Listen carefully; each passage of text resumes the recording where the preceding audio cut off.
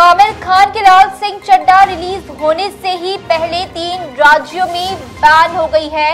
कमाल आर खान के ट्वीट से हड़कम मच गया है। कमाल आर खान ने ट्वीट किया है कि उत्तर प्रदेश, मध्य प्रदेश और हरियाणा में आमिर खान की फ़िल्म लाल सिंह चड्ढा को अनऑफिशियली बैन कर दिया गया है। आपको बता दें कि लाल सिंह चड्ढा को लेकर केआर के भी लगातार कई ट्वीट्स कर रहे हैं। एडवांस बुकिंग को लेकर भी सवाल उठा रहे हैं और केआरके के इस ट्वीट के बाद अब हड़कम मच चुका है। क्या सच में लाल सिंह चड्ढा? तीन राज्यों में बैन हो गई ये सवाल उठने लगे हैं, लेकिन फ़िलहाल इस पर कोई भी ऑफिशियल बयान सामने नहीं आया है।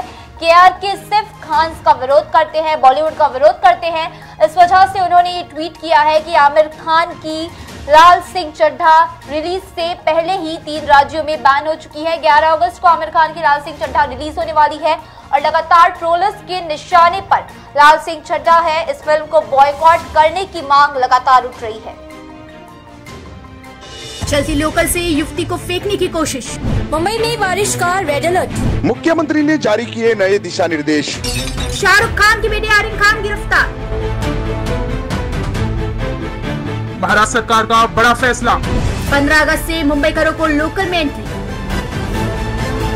खबरों का शहंशाह मुंबई बोले तो मेट्रो मुंबई।